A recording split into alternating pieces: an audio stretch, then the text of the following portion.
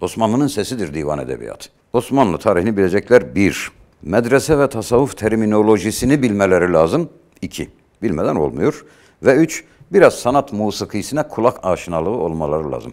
Divan edebiyatı bu üçüyle olur. Bayezid-i Bestami Hazretleri buyurur ki tasavvuf büyüğü, bir ilmin münteha noktası onu zevk etmektir. İlim zevk haline gelmişse ilim, yoksa nakildir, ezberdir. Zevk haline gelmesini istiyorlarsa bu üçünü bilecekler. MSC Sağlık Medikal'in katkılarıyla hazırlanan İzler başlıyor.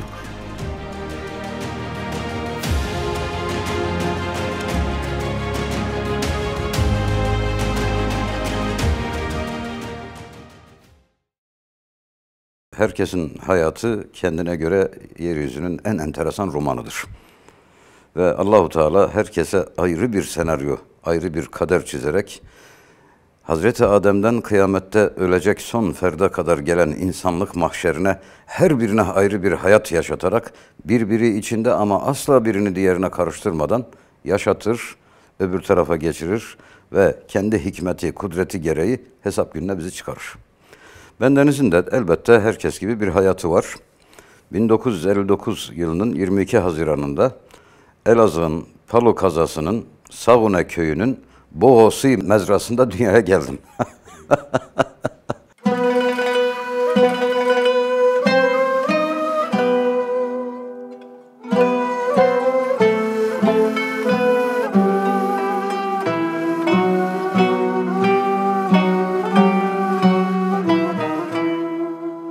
Palu'ya bağlı Savune köyünün şimdiki adı Andılar. Ee, o köye bağlı birkaç evlik bir yerleşim birimi olan Boğosi adlı yer bizim babam ve amcalarımın bulunduğu bir yer, bir yerleşim birimidir. Vaktiyle dedemin dedesi Bogos adlı bir Ermeniden orayı satın aldığı için adı Bogosi kalmış. Ben orada dünyaya geldim. 1966'da ilkokula başladım. Elaziz'in Mehmet Zeki İlkokulu. Sonradan İsmet Paşa'ya çevrildi adı. Atatürk Ortaokulu. Ondan sonra Atatürk Ortaokulu'nu bitirdiğim sene rahmetli babamı kaybettim. Elaziz'in sanat okulu derlerdi bizim zamanımızda. Teknik lisesi elektrik bölümüne benim kayıt yaptırdılar ki dünyanın en olmayacak şeyi ben ve teknik şey. O kadar yeteneksizdim, o kadar beceriksizdim ki elektrik bölümünde elektriğe çok fazla çarpıldığım için son zamanlarda beni atölyeye sokmaz oldular. Bir tornavida tutmayı beceremedim. Arkadan iterek, önden çekerek güç bela beni sonunda mezun ettiler. Son derece de mutsuz oldum. İnsan yeteneği olmayan bir işte olmamalı. Fakat o zamanki eğitim sistemi ve başımızdan geçenler, babamı kaybetmem gibi karmaşık olaylar neticesinde dikkatsizlikten kaynaklanan bir şekilde büyüklerim beni oraya vermiş oldular. Zor bela elektrik teknisyeni verdim ki hala daha bir sigorta bağlamayı bilmem hanım yapar. 1978'de Elaziz'de Fırat Üniversitesi Edebiyat Fakültesi Türk Dil ve Edebiyatı bölümünü kazandım. Yerimi bulmuş oldum. Meğerse edebi, ben başka hiçbir şey olamazdım zaten. Ancak önceden üniversiteyi kazanmadan önce Edebiyat Fakültesinin önünden geçerken gıpta ile seyrederdim oranın öğrencilerini. Her biri gözüme bir Yahya Kemal, bir Necip Fazıl, bir Yunus Emre gibi görünürlerdi. Hamdolsun oraya gittim ve hakikaten o zamanın imkanlarında şu anda çok nadir bulunacak üstad hocalardan ders aldım. Birinci sınıftayken bütün hocalarımız profesördü. Sadece bir hocamız doçentti. O doçent olduğu için servis dersine girerdi. Orhan Okay Bey, profesör şu meşhurdur. Edebiyatçılar bilirler. O bizim Osmanlıcamıza geldi. Bahattin Ögel, Kaya Bilgegil, Hüseyin Ayan ve şu anda aklıma gelen gelmeyen çok ünlü hocalar Elaziz'de üniversite kapanmasın diye o zaman yeni kurulmuş akademi olmaktan üniversiteye geçmek üzere tartışmalar var. Elaziz'de üniversite olsun mu olmasın mı diye bir tartışma var, kapatılma durumu var. Kapanmasın diye bütün ünlü hocalar Elaziz'e gelmeye başladılar ki burada eğitim devam etsin. Biz bu şanstan yararlandık. Tabii bizi çok da ezdiler onu söyleyeyim. Bizi mahvettiler. Yani e, mesela hatırlıyorum şimdiki gibi fotokopi yok, cep telefonu zaten yok. Profesör hoca anlatır dersi haddinize düşmemiştir ki hocam tekrar eder diyemezsiniz. Tekrar eder misiniz? Diyemezsiniz. Not aldın aldın. Yoksa geçti gitti o. Bu şekilde bir eğitim aldık. 1982'de mezun oldum. Uzun dönem askerlik. Yedek subay, Polatlı ve Kars'ta asteğmen olarak askerliği bitirdim. Daha sonra bir müddet özel dershanelerde Türkçe öğretmenliği olarak görev yaptım ve 1988'de Van 100. Yıl Üniversitesi Edebiyat Fakültesi Türk Dili ve Edebiyatı bölümünde araştırma görevlisi olarak akademik hayata atıldım. Daha sonra evlendim. Beş çocuk babası oldum yıllar içinde. Şu anda hala aynı üniversitede, aynı bölümde doktor öğretim üyesi olarak görevimin başındayım, devam etmekteyim. Hayatım kaba çizgilerle bundan ibaret. Şimdi bazı detaylara geçebilirim. Geriye dönecek olursak, efendim benim aslım baba tarafım 18. yüzyılın ortalarında Bağdat'tan gelmişler. Gelmişler ve işte Palu'nun Savuna köyünün Boğosi mezrasına yerleşmişler. Boğos adlı bir Ermeniden alınmış olduğu için ismi öyle kalmış. Bağdat'tan ilk gelen dedem Seyyid Ali Bağdadi diye biliniyor. Şeceremiz de var imiş fakat Şeyh Said hadisesi ve o karışıklıklarda kaybolmuş. Şecerenin devletteki nüshası da 1945'te feci bir yangınla kül olan Palu hükümet binasında o da gitmiş. O civarda öyle biliniyoruz. E, Mutasavvıf ve alim bir aile olarak biliniyor. Pek çok büyük zat yetişmiş Mürşidi Kamil ve alim, medrese alimleri de yetişmiştir. 1966'da ilkokula giden ben, ailenin ilk bildiğimiz eğitim sistemde yetişen kişisiyim diyebilirim. İlk üniversiteye giden kişisiyim ve ilk resmi e, subay olan kişisiyim. İlk akademisyen olan kişisiyim. Bütün ilkleri bende yaşadılar. Bu şekilde ilkokul, ortaokul doğal fakat lise 2'deyken birdenbire feci bir bunalıma düştüm. Bu bunalım kelimelerle ve bu programa sığacak şekilde anlatılabilmesi çok zor. Şu kadarını diyeyim ki mesela aylarca hiç gülmediğimi biliyorum. Kendisine selam olsun tiyatral yeteneği çok yüksek olan aziz kardeşim Kadir Aslan Bey bir gün bize geldi ve bir espri yaparak beni güldürmeyi başardı. Gülünce çenem ve bu kaslarım acımaya başladı. Anladım ki aylardır ben gülmemişim. Ve aylarca uyumadığımı biliyorum. Günlerce bir şey yemediğimi biliyorum. Böyle bir buhran içine düştüm. Neydi bu buhran? Elimde olmaksızın bütün eşya, hakikatlerin özünü, cevherini bulmak, hakikati yakalamak cehdi diyelim. Fakat bu benim kendimi zorlayarak yaptığım bir şey değil. Birdenbire rahmetli Necip Fazıl'ın dediği gibi gece bir hendeye düşercesine birden kucağına düştüm gerçeğin. Sanki erdim çetin bilmecesine hem geçmiş zamanın hem geleceğin. 40 kilonun altına düştüğümü biliyorum. Geceleri evde duramazdım. Allah selamet versin. Zavallı annem benden neler çekmiştir. Gece 2'de sokaklarda ben dolaşıyorum. Annem de benim yanımda. Eve giremiyorum. Kapalı yerlerde duramıyorum. Uyku yok, şu yok, bu yok. Vesvese, şeytan, varlık, yokluk, fert, toplum, cemiyet bunlar beni öldürdü.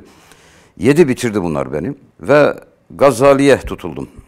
İmam Gazali'yi okuyunca biraz ferahlıyorum. Gazali'nin bütün kitaplarını okudum.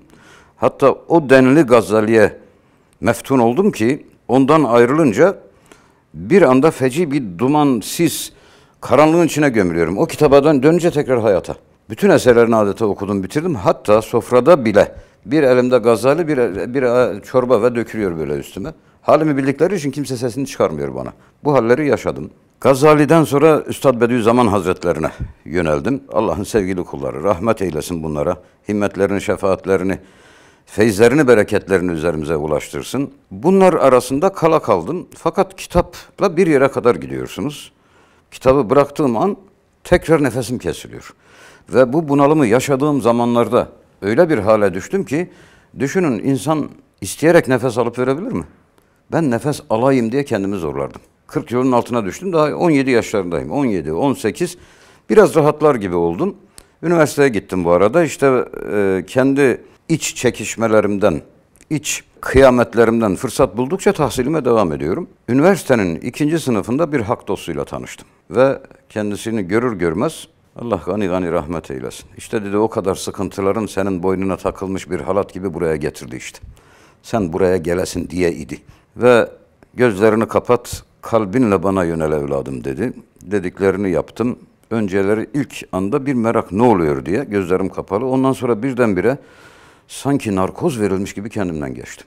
Kaldım, kaldım, kaldım gözlerim kapalı ama gözlerimi açayım diye bir gayret yok. Ne oluyor diye bir his yok. Rahatladım, kuş gibi oldum. Bir müddet sonra baktım Eliyle dizme do- aç gözlerini dedi. Tamam. Hadi git. Kalktım gittim. Allah Allah. Kendimi zorluyorum. Eski halimden eser yok. Kendimi zorluyorum. Yıllar sonra o rahmetli olduktan sonra hanımından duymuştum. Rahmetli hacı anneden. O gece kendisi de uyuyamamış. Ömer'de ne varsa üstüme çektim ama mahvetti beni demiş. Bir müddet gezdim dolaştım. Tekrar huzuruna geldim. Artık meftun oldum. Ayrılamıyorum kendisinden. Dedi ki böyle her canı sıkıldığı zaman geleceksin. Böyle benzinlikten benzin doldurur gibi gide o olmaz. Sen de bir şeyler yapman lazım. Çok fazla konuşmazdı. Hayatımın en büyük dönüm noktası bu zatı tanımış olmamdır. Ondan önce bütün milat olayı budur. Ondan öncesi ve ondan sonrası bildiğimiz esfel-i safil olan bu dünyadaki düşük yaşayış. Ancak o zat ile yaşadığım altı sene ömrümün altın yıllarıdır diyebilirim. Ömrümün altın seneleridir. Bir şey mi konuştu? Hayır. Sadece huzurunda bulunmakla, yanında oturmuş hatta bitişik namaz kılmakla almış olduğum feyzi ne bu programda anlatabilirim ne de başka biri anlatılmaz, lafla anlatılmaz. Altı sene beraber olduk.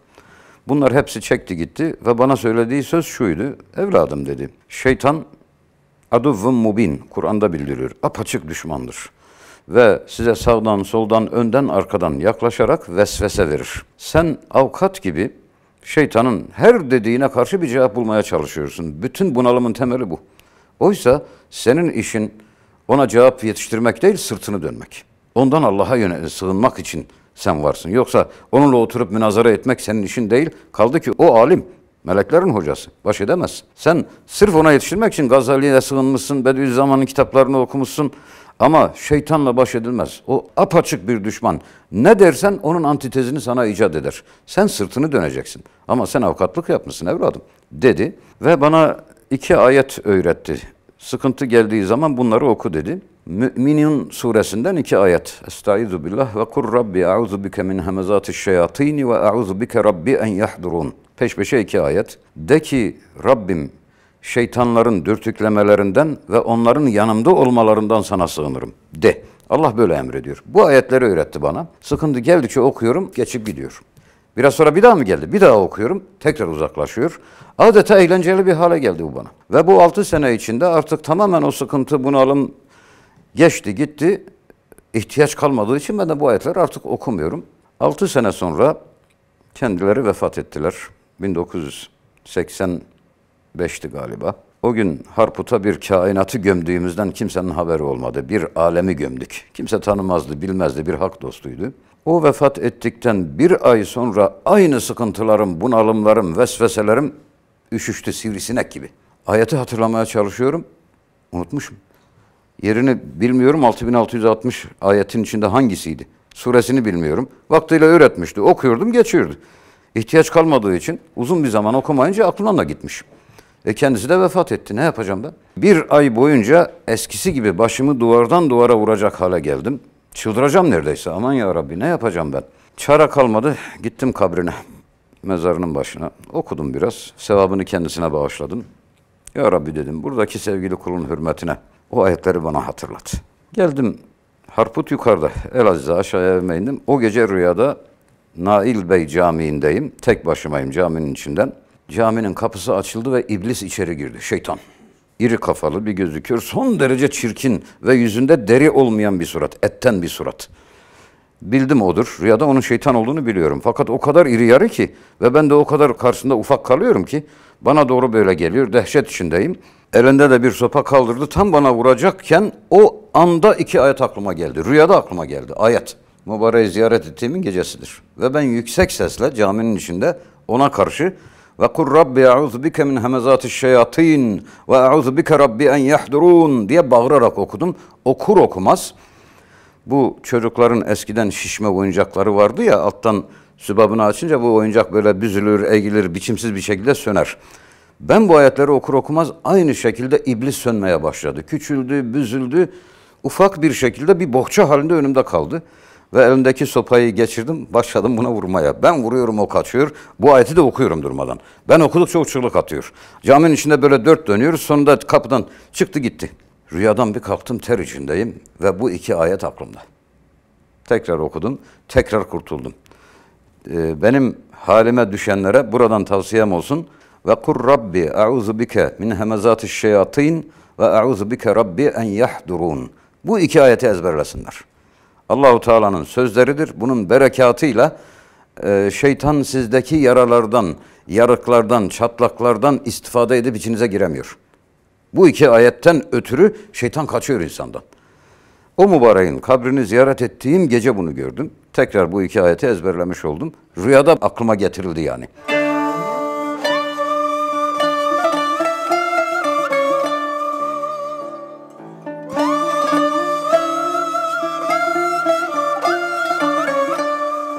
Daha sonra efendim okul bitti, fakülteyi bitirdim. Mezuniyet tezi olarak Hamdullah Hamdi'nin Yusuf Züleyha'sından 2000 beyit çevirisi. Yani Osmanlıca yazısından latinize etmek şeklinde. Onu yaptım, bitirdim, okuldan mezun oldum. Fakat bizim zamanımızda Edebiyat Fakültesinde okumak ve bir edebiyatçı olarak mezun olmak hakikaten çok muazzam bir şeydi. Edebiyat bizim için bir meslek olmanın ötesinde hayat idi. Ve bendeniz ilk şiirimi 9 yaşında yazmışım. Şiir yazdığımın şiir olduğundan da haberim yok, bilmiyorum. Rahmetli babamı bir yakınımız incitmişti. Babamın üzüldüğünü görünce, e biliyorsunuz babanın üzülmesi insanın dünyasını yıkar. Anne ağlıyor her zaman ama baba boynunu bükerse dünya insanın başına yıkılıyor. Onun üzüldüğünü görmekten ötürü çok etkilenmiştim ve onu inciten, Allah ikisine de rahmet eylesin, ikisi de rahmetli oldular. İnciten, yakınımızı hicveden bir şeyler yazmıştım. Yani onu yeren, kötüleyen. Daha sonra bunun şiir olduğunu, Allah Allah bunu ben mi yazdım? Kafiyeler filan şiir bu. 9 yaşındayım. Fakat aman Allah'ım o kadar yaramazım, o kadar ela avuca sığmaz çılgın bir çocuğum ki düşünün rahmetli babam beni türbelere götürüyor ıslah olayım diye. Muskalar yazılıyor bana. Meğerse hiperaktifmişim. Tabii o zamanlar bilmiyorlar. Beni ziyaretlere götürüyorlar. Ya Rabbi bu zatın hürmetine ya bu olanı ıslah et ya da. yani yaramazlığımın derecesini düşünün ki Allah rahmet eylesin. Rahmetli ablam saçları uzun, örüklüydü böyle arkadan ta diz kapağına kadar gelecek uzun saçları vardı, örerdi. Ben de Tarzan filmlerinden etkilenmiş olduğum için biliyorsunuz Tarzan sarmaşıklara tutunarak ağaçtan ağaca uçar ya. Koşar koşar koşardım ablamın saçlarından tutarak omuzuna çıkardım. Düşünebiliyor musun? Böyle şeyler yapıyorum ben. Ve daha neler neler. Yani çocukluğumda ettiğim şeyleri anlatsam burası bitmez. Ve en korktuğum kişi de babam. Yani ona şikayet gittiği zaman dizlerim bağı çözülüyor. Başka kimseden çekinmiyorum ama babamdan çok korkuyorum. Babam da bir şey yaptığı yok fakat gölgesi ağır. İri yarı bizzat. Şöyle kaşlarını indirdiği zaman dünya başıma yıkılıyor. Hatta bunu bir programda da söylemiştim. Bir Ramazan vesilesiyle Ramazan ayı geliyor ya. Ramazan Allah şehrullah, Allah'ın ayı. Allah'ın rahmetinin, bereketinin, mağfiretinin bütün alemlere coştuğu ay Ramazan ayıdır. Ve Ramazan'da Allahu Teala en hak etmeyene, en layık olmayana bile rahmet nazarıyla bakar. Af ayıdır. Şimdi küçüklüğümde yine ne yapmışsam babama şikayet gitmiş. Babam böyle oturuyor, ben de karşısında suçlu vaziyette. Annem de gelmiş arada siper almış bekliyor. Babam ayağa kalktığı gibi beni koruyacak yani kalkan olacak. Annem hep bunu yapardı. Bekliyoruz saniyeler, dakikalar geçmiyor. Yani kalbimden diyorum ki döveceksen döv, sen de kurtul, ben de kurtul. Böyle durma yeter ki yani. Böyle ağır bir psikolojik hava var evde. Tam böyle ümidimin kesildiği anda babam derdi neyse hadi hadi neyse gel lan buraya derdi. Ben de alırdı kucağına severdi. Yani kızmış olmasına rağmen neyse sözü affedildiğimin alametidir. İşte benzetmek gibi olmasın. Ramazan ayı da Allahu Teala'nın kullarına hadi neyse, hadi neyse dediği aydır. Ben hep Ramazan'da bu sahneyi hatırlarım. Evet, babam Allah'ın bir kuluydu. Fakat Cenab-ı Hakk'ın bütün günahlarımıza rağmen yine de, yine de hadi neyse. Onun rahmeti her şeyden büyüktür. Yine de affedebilir. Etmesi mümkündür, ihtimal vardır. İhtimalsiz değildir yani bir e, tiyatrocu İngiliz kız Müslüman olmuştu. Onunla yapılan bir röportajı okumuştum 5-6 sene önce. Niye Müslüman oldun diye sorduklarında diyordu ki çok mutluyum çünkü cennete gitme ihtimalim var. Bu bir ihtimal ama var. Cennete gitme ihtimalim var. Kurtulabilirim. Önceden böyle bir ihtimal yoktu. Şimdi öyle bir ihtimal, bir mecra, bir kapı açılmıştır bana diyordu. Çok yaramazdım onu söylüyordum. Rahmetli babamın vefatından sonra hem maddi olarak hem aile olarak her şeyimiz alt üst oldu. O kadar el bebek, gül bebek yetiştirilen, şımarık yetiştirilen ben bir anda her şeyimi kaybetmiş oldum. 11-12 yaşlarındayım. Yani erkek çocuğun babaya en ihtiyacı olduğu dönemde yetim kaldım. Bu alt üst oluş bendenizi çok fazla içe kapanmaya yöneltti. Sanıyorum bunalımlarımın başlamasının sebebi de odur. Kendi içime döndüm. Artık dış alem beni ilgilendirmiyor ve değmiyor gözümde. Bir anda varlıktan yokluğa düştük. Ben bir ayakkabı boyacılığı yapmadım. Gazoz sattım, simit sattım. Babam zamanındayken bir şehzade gibiydim. Çok da varlıklıydık. Bir anda her şey alt üst oldu. Yani Allah verir ve alır, aldı. O değişimi yaşamanın içimde uyandırdığı akisler işte bendeki o bunalımlara yol verdi diyebilirim. 17 yaşında lise 2'de ilk kez yaşadım. Ondan sonra üniversitede birinci sınıfta tekrar yaşadım ta ki o zatı görünceye kadar. Daha sonra akademisyen oldum Van'da. Van'da 35 senedir divan edebiyatıyla iştigal etmekteyim. Divan edebiyatı tarzında şiirler yazmaktayım. Bir divanım vardır ve zannederdim ki divan edebiyatı tarzında yazan bir ben kaldım Türkiye'de ve bir tek benim divanım var sanırdım. Gizli gizli de havalara girerdim. Ancak önceki programlarda moderatörlüğümü yapan Emrah Gökçe Bey'in çalışması tez, o da divan edebiyatçısıdır. Tez çalışmasında anlaşıldı ki şu anda Türkiye'de 280 küsür tane divan şairi var, divanları var. Ancak basılmamış. Yayın evleri ne yazık ki pek iltifat etmiyor bunlara. Kendimi tek zannederdim ama değilmişim. bir müddet e, edebi programlarını yaptık bir devlet televizyonunda. Daha sonra sağda solda konferanslar vermeye başladım. En sonunda da May Mecra ile tanıştık Serdar Bey ile. Önceden de gerçi tanışıklığımız vardı, selamlaşıyorduk. Burada bu şekilde devam ediyoruz. Evliyim, beş çocuk babasıyım. 66 yaşına girdim. Artık bundan sonrasını Allahu Teala inşallah salih amelle ve imanla yürütür, bizi öbür tarafa geçirir.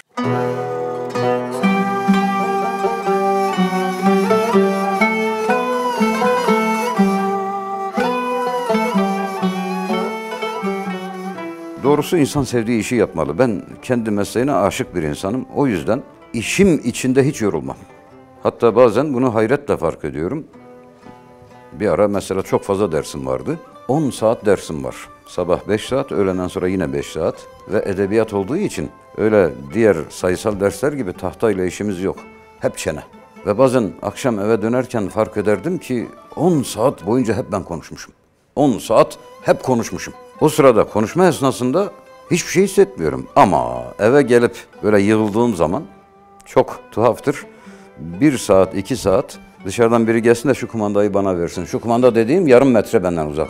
Bu kadar bitkin olduğumu hatırlıyorum. Konuşmak kadar insanı yoran bir şey yok. Ve insanlara bir şey üretmek çok yorucudur. Ee, mesela düşünün ki günde 30 tane lahanayı sulamak sizin vazifeniz olsa o sizi kısmen yorabilir. Günde 30. Ama 30 beyin düşünün. Bu 30 beyinle uğraşıyorsunuz. Her biri ayrı bir insan, her biri ayrı bir alem. Her biri ayrı bir dünyanın içinde olan çocuklar, gençler karşınızda oturuyor ve siz onlara divan edebiyatını anlatıyorsunuz. O divan edebiyatımız ki bir sürü bilim dışı kötülemelerle feci ön yargılar oluşturulmuştur ve insanlar bu kadar muazzam bir hazineye burun kıvırmaktadır. Siz bununla da mücadele etmek zorundasınız. Divan edebiyatının ne olduğunu ne olmadığını, liselerde anlatılanların çoğunun yanlış olduğunu, eğitsel hurafelerden ibaret olduğunu da öğrencilere bildirmek zorundasınız. Ancak işimi sevdim. Hep sevdim. Şu anda da seviyorum. Bu bakımdan çok mutluyum. Ben sınıfa girip ders anlatmaya başladığım zaman bütün dertlerim dışarıda kalır. Bitiririm, ondan sonra dış kapı açarım, dertler bana hoş geldin derler. Ancak sınıfa girdiğim an ayrı bir dünyadayım. Öğrencilerim de bunu bilirler.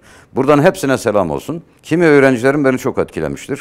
İlk etkilendiğim öğrencim Elazığ'da Mehmet Akif Ersoy Lisesi'nde stajyer öğretmenim o zaman. Stajyerlik yapıyorum. Bizim zamanımızda stajyerlik uzundu.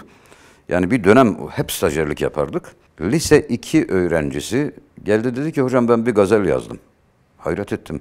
Lise 2 gazel. Nasıl gazel oğlum dedim. Yani ismi gazel olabilir şiirin de sen biliyor musun gazelin? Hocam aruz ölçüsüdür ve beyitler halindedir. Ben gazel yazdım dedi. Bakar mısınız? Böyle üstenci bir dille. Ama haklıymış. Hiç unutmuyorum o beyit hala aklımda. Harput kalasında bir beyaz taş olaydım. Yarın çağında 16 yaş olaydım. Bu beyti yazan kişi lise 2'deydi. Yani var böyle cevherler. Tavsiye ettim, edebiyata git dedim. Gitmesen bile mutlaka al bir Fuzuli divanını baştan sona oku dedim. Böyle bir alemimiz var. Senin sesinin yankılandığı bir dünya var bizde. Te- tavsiye etmiştim. Sonraları tabii savrulduk her birimiz bir yere. Ne oldu bilmiyorum. 90'lı yıllara kadar Türkiye'de çok fazla üniversite olmadığı için Tekirdağ'dan gelen öğrencimiz bile oldu Van'a. Tekirdağ'dan Van'a. Biri Mağrip, biri Maşrık'ta anın diyor ya. Gelip öğrencilerimiz oldu. Türkiye'nin her yerinden öğrencilerimiz olduğu için çok renkliydi 90'lı yıllara kadar. Fakat daha sonra her yerde üniversite açıldı. Öğrencilerimiz fazla uzağa mas- masraf olmasın diye geldi. Şimdi maalesef üzülerek söylüyorum her yerden öğrencimiz yok. Keşke olsa. O renkliliği, o zenginliği arzu ediyorum. Yoksa öğrencilerimi çok seviyorum. Ama keşke her yerden gelen öğrencilerimiz olsa. Var yine de öğrencilerimiz. E, tabii ilk birinci sınıfta liseden gelme ön yargılarla geldikleri için zorluk çekiyoruz. Bunu bildiğimden gençliğimde olduğu kadar da çok cevval ve enerjik olmadığım için birinci sınıflara girmem derse. Birinci sınıflar biraz eğitirler, ikiden başlarım. Şu anda ikiye de girmiyorum, üç ve dört bende. Bir hatıram vardır. Yıllar yıllar önce girdim derse arkadaşlar bundan sonra divan edebiyatını işte birlikte götüreceğiz falan deyince daha yeni girmişim yani. Bu kadar bir şey söyledim. Birisi kalktı. Hocam ben divan edebiyatına karşıyım. Birinci sınıf öğrencisi. Bir sene önce lisede. E dedim ama tamam da dört sene beni dinleyeceksin. Ondan sonra karşı olabileceksin. Sen daha yeni gelmişsin. Ne, hakkında ne biliyorsun ki karşı olacaksın veya yanında olacaksın? Hakkında bir bilgin yok. Bazen sınıfta öğrencilerle esprileşmelerimiz oluyor. E bazen de biraz da ağır oluyor. Fakat kızmıyorlar sağ olsunlar. Beni böyle babaları gibi gördükleri için böyle fazla alındıklarını görmedim. Hiçbir öğrencimi şu ana kadar üstüne bağırmadım kimsenin. Hiçbir öğrencimi dışarı atmadım. Bunları hamdolsun yapmadım. Mecbur da olmadım yani öğrencilerim de güzeldi. Şöyle bir tecrübem var. Mezun olduktan sonra dışarıda rastladığında bana en vefakar davranan öğrencilerim öğrenciyken beni en çok üzenler. öğrenciyken en çok didiştiğimiz çünkü dört yıl elimizde artık bir aile oluyoruz. Öğrenciyken beni en çok uğraştıran, bıktıran, usandıran, didiştiğimiz öğrenciler mezun olduktan sonra en vefakar öğrenciler oluyorlar. Bak ötekiler normal, mezun olup gidiyorlar. Ama beni dönem içinde fazlaca uğraştıran ve üzen öğrenciler hep ararlar, sorarlar. Dışarıda gördükleri zaman mutlaka hocam çay içerim derler. Hatta diyorum o sen misin? Sen o halden bu hale nasıl geldin?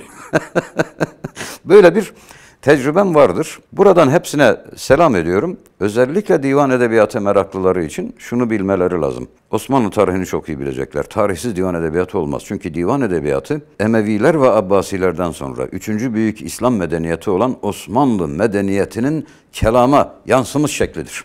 Osmanlı'nın sesidir divan edebiyatı. Osmanlı tarihini bilecekler bir. Medrese ve tasavvuf terminolojisini bilmeleri lazım. İki. Bilmeden olmuyor. Ve üç, biraz sanat musikisine kulak aşinalığı olmaları lazım. Divan edebiyatı bu üçüyle olur. Bayezid-i Bestami Hazretleri buyurur ki tasavvuf büyüğü, bir ilmin münteha noktası onu zevk etmektir. İlim zevk haline gelmişse ilim, yoksa nakildir, ezberdir. Zevk haline gelmesini istiyorlarsa bu üçünü bilecekler. Zevk haline gelecek.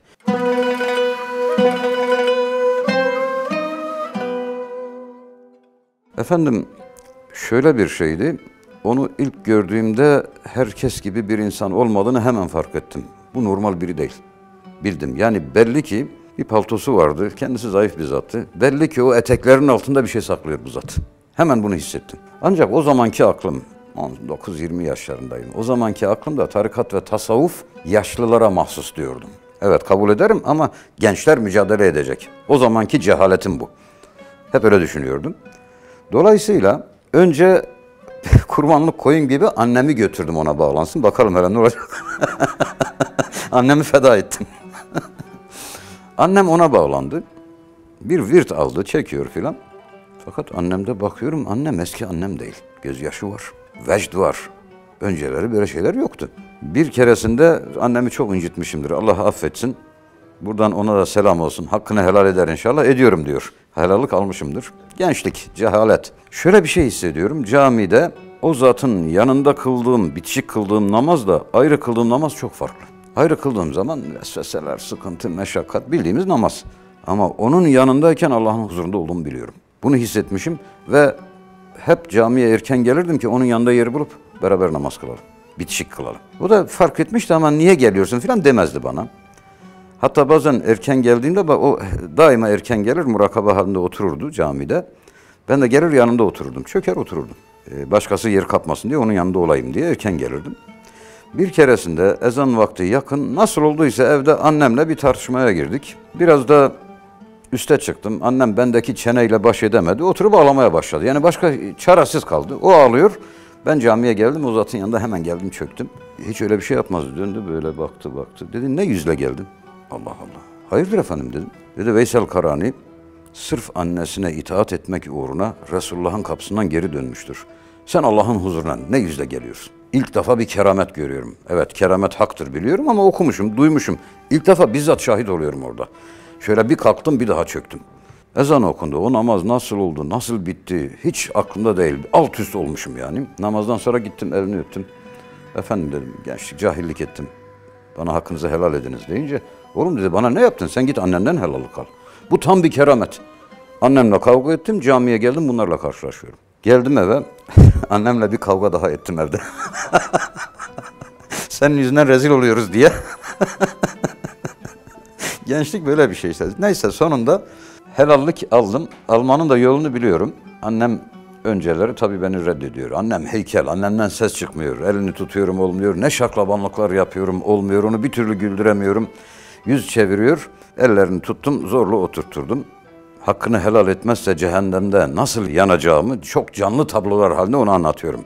Diyorum ki alevler içindeyim. Vücut yağlarım cız diye böyle yere damlıyor. Düşünebiliyor musun? Der demez ana ya. Gerçek mi dedi. Böyle mi olacak? Vallahi dedim böyle olacak ya. Kül olacağım kül. Deyince helal olsun defol. Helal olsun defol. Annem hala sağdır. 103 yaşına girmiştir. Allah inşallah ona yapmış olduğum aşırılıkları affeder. Annem helal etmiştir bana. Ee, tabii o zamanki cehalet, gençlik insanoğlunun üzerinde şemsiyenin olmadığı cahilce bir çağdır. Daha sonra son 20 senedir anneme kölelik yapıyorum diyebilirim. Ee, akıl gerilemiştir. 50 kere anlattığı şeyi tekrar ilk defaymış gibi anlatır. Ben büyük bir sabırla dinlerim. Öyle mi? Allah Allah deme ya. Halbuki biliyorum yani kaç kere anlatmıştır. Sırf o gönlü incinmesin diye. Ben küçükken pekmezi bardakla içerdim. Pekmez. Rahmetli babam da bu halimi bildiği için o zamanın keşke şimdi olsa onu bulamıyorum. Tenekelerle helva alırdı biz köydeyken. Temmuz ayında tenekeyi açmışım kapağını ben kaşıkla helva yiyorum. Ekmek falan değil. Rahmetli babam bakardı sizin gibi gülerdi beni. Çok tatlıya düşkünüm. Anormal bir tatlı düşkünlüğü var. Yani yediğim tatlıyı başka birisi yese şu anda acayip kilolu olur. Obez olur. Hamdolsun benim hala kan şekerim düşüyor. Gittim doktor dostlarıma. Dediler ki kan eritiyor yani iyi istediğin gibi ye zararı yok. Ama önceleri krize girerdim yani. Bazen gece 2'de dışarıda çıkıp tatlı aradım olmuştur. Bulamayınca böyle avuç avuç e, kesme şeker yerim evde. Bulamıyordum. Çıldıracak hale geliyordum. Mutlaka tatlı yemem lazım. E, bunda şeyin tesiri var. 16-17 yaşındayken anemi oldum ben. Kansızlık da var bende. O zamandan kalan bir şey bu. Yani o denli ki çocuklar küçükken iki tane büyük markasını söylemeyeyim. Büyük çikolata alıyorum böyle kavanoz. E, beş çocuk. Gelin diyorum ki bak biri benim, biri hepimizin. böyle adaletli bir taksim. Çocuklarla ciddi ciddi kavga ettiğimi biliyorum. Ben yiyeceğim. Oysa onlara getirdim. Bu denli tatlıya karşı zaafım var. Bayramlarda annem ile hanım ayrı bir tepsi bana ayarlarlar. Ve bana yemin ettirirler. Sen başka yerden yemeyeceksin. Bir gecede bir tepsiyi bitirdiğimi biliyorum. Baklava.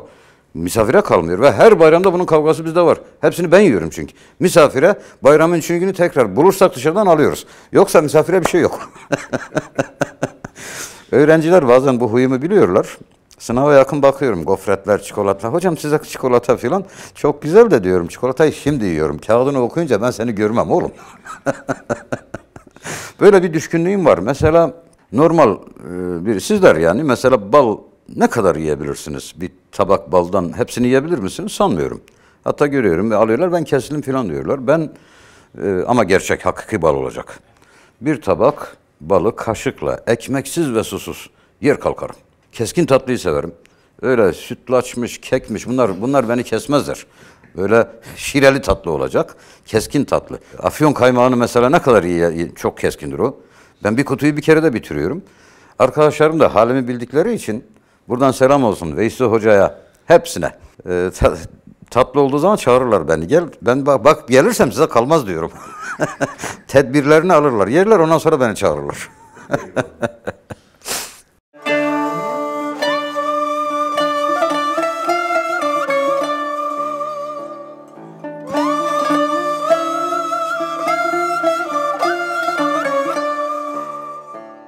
Efendim Resulullah Aleyhisselatü Vesselam Efendimizin hayatını incelediğimiz zaman peygamberlik davası ortaya çıkar çıkmaz. Kendisinin Allah'ın son elçisi olduğu kendisine bildirilir bildirilmez. Evvela etrafını gençler aldı. Yaşlılar karşı, Ebu Cehil 74 yaşında o zaman. Yaşlılar hep karşı oldular. ilk etrafına alanlar gençlerdir. Onlar da gençti. Onların da bin bir hayalleri vardı. Gelip Resulullah'ın hele hele bir Mus'ab bin Umeyr var ki ipekler içinde yetiştirilmiştir bu çocuk. Son derece zengin bir tüccarın oğlu. Tek evlat, el bebek gül bebek. Bu Mus'ab bin Umeyr 19 yaşında şehit. Efendim çok güçlü, kuvvetli, çok yakışıklı bir zat olduğu için harplerde Resulullah'ın önünde korumalık şerefe baksan ya. Allah verdi mi veriyor. Korumalık yapıyor Efendimizin önüne. Kimseyi yaklaştırmıyor. İşte savaşta onu vurup düşürdüler. Düşürdüler. Resulullah bir an için Uhud harbinde tek kaldı. Etrafını 20 kişi birden aldılar. O vaziyete şakır şakır çarpışıyor Hazreti Resulullah. Hazreti Talha o zor durumu görüp çığlık attı ve sahabiler tekrar koşup onu o sırada dişi kırıldı zaten. Birisi vurdu yani. Onu alıp Uhud Dağı'ndaki o taş yargın arasına Hazreti Peygamber'e koyup önünde siper oldular. Çok tehlikeli bir vaziyet. İşte o esnada Hazreti Mus'ab düşmüştü. Şehit etmişlerdi. Harpten sonra Efendimiz Aleyhisselatü Vesselam Uhud Savaşı bitmiş gitmişler. Şehitlerin arasında geziyor. Son derece müteessirler kendileri. Amcayı gördüler. Hamza düşmüş Hazreti Hamza. Çok müteessir. Va esafa ya ammi dediler. Ey amca vah vah dediler. 20 metre kadar ileride baktılar. Mus'ab düşmüş 19 yaşında. Ve Mus'ab vefat ederken eliyle gözünü bu şekilde kapatıp öyle vefat, ruhunu öyle teslim etmiş. El gözünün üzerinde. Çok müteessir oldular. Mus'ab'a kefenleyecek bir şey de bulunmadı. O haliyle e, defnedilmiştir. Efendimiz dedi bu çocuk ipeklerle büyümüştü. Hadistir. Sahabi sordu ya Resulallah Mus'ab niye eliyle gözünü kapatmış? Hadis-i şerif buyurmuştur ki öldürücü darbeyi alıp düşünce Mus'ab tek kaldım artık koruyucum yok. Bir anda 20 kişi bana hücum ettiler. Mus'ab son nefeste Resulullah'a bir şey olursa ben görmeyeyim diye gözünü kap. Bak öyle kendi ölümü umurunda değil ha. Aşkı peygamberi budur ya. 19 yaşında bu genç. Ona bir şey olursa, ona vururlarsa ben bu hiç değilse onu görmeyeyim diye kendi gözlerini kapattı, öyle vefat etti. Gençlik bu. Şimdi günümüzdeki gençliğe geliyorum. Tabii devre devredir. Bazen fetret dönemi olur, bazen parlak dönem gelir. Ancak gençler her dönemde gençtir. Saftır, temizdir. Bir hoca olarak bunu söylüyorum. Bir insanın hayatının 10 senelik dönemine bakarak o insanı yargılayamazsınız. 50 türlü değişiyor gençler. Durmadan değişiyorlar. Gençlere tavsiyem şudur. Durmadan değiştiklerini biliyorum. Dünya hayatına gençlik hevasatıyla yöneldiklerini biliyorum. Ancak şunu da biliyorum. Bu dünyanın gerek dijital gerek görsel eğlence aygıtları aynen deniz suyu gibidir gençler. Ne kadar susamış olursanız olun deniz suyunu içince daha da susuyorsunuz. Onlar sizi doyurmuyor. Ve onlar susamışlığınızı daha da artırıyor. Helal dairesi keyfe kafidir. Allah'ın helal kıldığı şeylerden bol bol yiyin, için istifade edin ama harama yaklaşmayın. Vallahi pişman olursunuz daha bu dünyadayken. Ehli iman olduğunuz için zevk de alamazsınız. Ehli iman günahı da beceremez. Gençlere tavsiyem Allah'ın en sevgili, en kıymetli, en aziz kulu olan son peygamberi hayatının her safhasıyla tanısınlar. İlk vazife onu bir tanımaları lazım. Adım atışından, evden çıkışından, baba oluşundan, koca oluşundan, çoban oluşundan, peygamber oluşuna kadar her mevkideki duruşunu baştan sona bir incelesinler gençler. Onu bir tanısınlar. Ondan sonra ne olacaklarını zaten kendiler bilirler. Gençlere tavsiyem budur.